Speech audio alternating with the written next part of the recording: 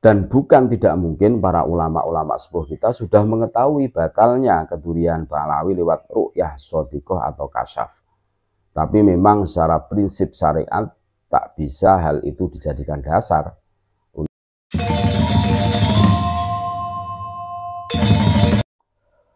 Assalamualaikum warahmatullahi wabarakatuh. Alhamdulillah. Assalatu wassalamu ala rasulillah Muhammad ibn Abdullah alladzi la nabiyya ba'dah. Allahumma salli wa sallim ala Sayyidina Muhammad wa ala ali Sayyidina Muhammad amma ba'd. Saudara-saudaraku sebangsa setanah air yang kami cintai, yang kami muliakan, yang kami banggakan, di mana pun Anda berada, berjumpa kembali dengan kami channel Bejo Dunia Akhirat.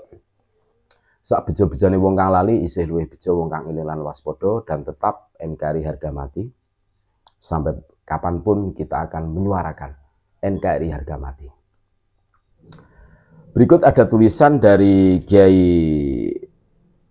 S. Sukamto. Judulnya itu Takabur Level Kolektif. Ini menarik, kita simak bersama. Imam Syatibi ya memberikan contoh tentang sebuah kasus. Ketika itu Ibnu Rusyid ditanya tentang seorang hakim yang berhadapan dengan dua orang saksi yang adil. Hakim itu lalu bermimpi bahwa Nabi Muhammad SAW berkata kepadanya, Janganlah kamu memutuskan dengan persaksian tersebut, karena hal itu batal. Ibnu Rusyid berkata, mimpi ini tidak diperhitungkan sebab ia berlawanan dengan prinsip syariat. Mau itul Mauqiful Islam 37. Seringkali kita mendengar muhibbin memakai dalil ya, bahwa ulama-ulama kita saja seperti Syekh Hashim Ash'ari atau lainnya itu mengakui zuriyah para habib. Terbukti beliau beliau tidak menentang atau membantah kedurian para habaib. Kita sering mendengarkannya. Wong Mbah Hashim saja mengakui kedurian para haba. Eh lah kalian-kalian itu siapa? Kan sering sekali. Kita mendengarkan statement-statement seperti itu kan. Seperti apa ya? Tertulis pada awal tulisan ini bahwa mimpi juga kasyaf atau ilham. Itu tidak bisa dijadikan dasar penetapan ya. Penetapan hukum syariat atau menentukan sesuatu pada ranah publik karena bertentangan dengan prinsip syariat. Walaupun seandainya itu ru'yah sodikoh atau kasyaf yang benar ya. Karena itulah para ulama dulu mengambil langkah husnudon atau praduga tak bersalah. Karena memang saat itu belum muncul bukti batalnya nasab Ba'alawi baik secara manuskrip atau lewat tes DNA. Dan bukan tidak mungkin para ulama-ulama sepuh kita sudah mengetahui batalnya kedurian Ba'alawi lewat ru'yah sodikoh atau kasyaf. Tapi memang secara prinsip syariat tak bisa hal itu dijadikan dasar untuk memutuskan suatu hal di ranah publik selama tak ada bukti konkret. Jadi inilah alasan ulama sepuh kita berhusnudon pada habaib. Walaupun saat itu sebenarnya para Ba'alawi juga sudah takabur, tapi takaburnya masih dianggap dalam level personal atau kesombongan biasa, belum belum menyeluruh belum kolektif, masih personalia kan gitu toh. Namun sekarang ketika para Ba'alawi takaburnya sudah level berjamaah, ya, kolektif, juga masif, disertai konspirasi pembelokan sejarah dan dawirisasi kan itu. Istilah ngarang dewek, dawirisasi itu. Maka tak ada alasan lagi bagi kita untuk berhusnudon.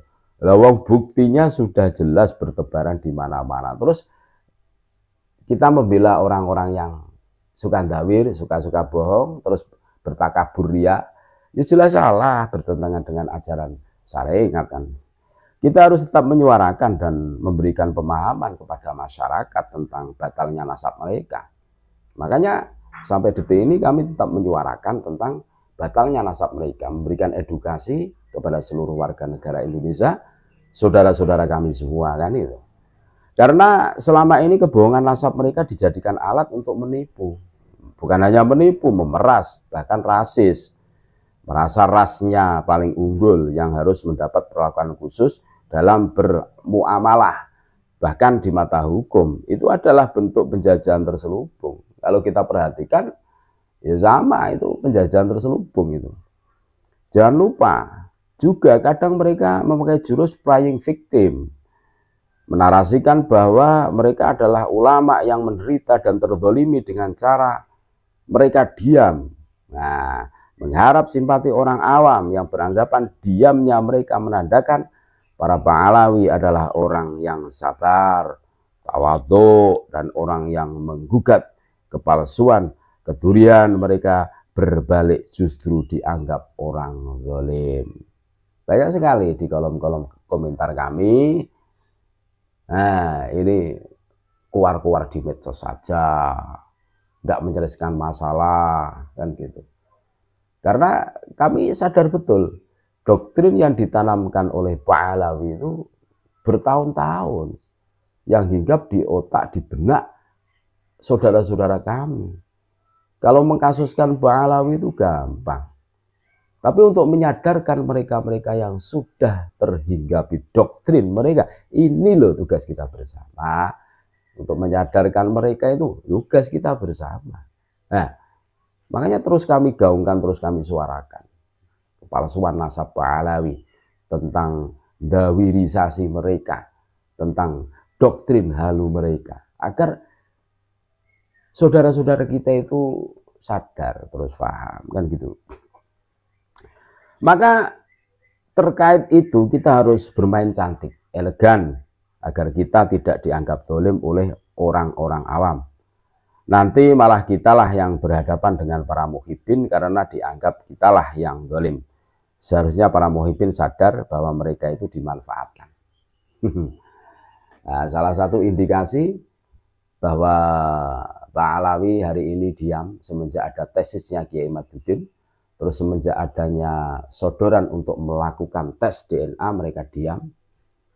Ternyata ini termasuk trik-trik mereka biar mereka itu disangka oleh publik, disangka oleh orang-orang umum, mereka itu terdolimi. Terus kami-kami yang menyurahkan kebenaran, itu dikatakan pembenci. Kami tegaskan, sedikit pun kami tidak pernah ada rasa membenci kepada siapa pun termasuk para habib tidak pernah. Tidak pernah tidak ada sama sekali. Tujuan kami adalah untuk menyadarkan memberikan edukasi bahwa nasab mereka itu palsu loh. Bahwa nasab mereka itu terputus di Ahmad bin Isa bin Ubaidillah. Durasinya 550 tahun ya seperti itu. Nah makanya kita harus belajar kita harus menggunakan akal waras kita bahwa hari ini mereka betul-betul menerapkan diam dirinya dengan maksud dan tujuan supaya kesannya itu mereka itu terdolimi. Terus banyak yang simpati, terus banyak yang mengatakan bahwa mereka itu terdolimi. Terus kami-kami yang menyurahkan kebenaran ini dikatakan orang-orang yang berlaku dolim. Kan kebalik ini. Ini harus kita Perhatikan pola-pola algoritma yang dipraktikkan oleh Pak Alawi. Mereka itu licik, licik. Oh, temannya Belanda, temannya VOC. Dulu itu nenek moyangnya itu kan anu sangat akrab dengan VOC, dengan kolonial Belanda. Makanya pola pikirnya itu ya seperti itu. Terima kasih. Tetap NKRI harga mati. Assalamualaikum warahmatullahi wabarakatuh.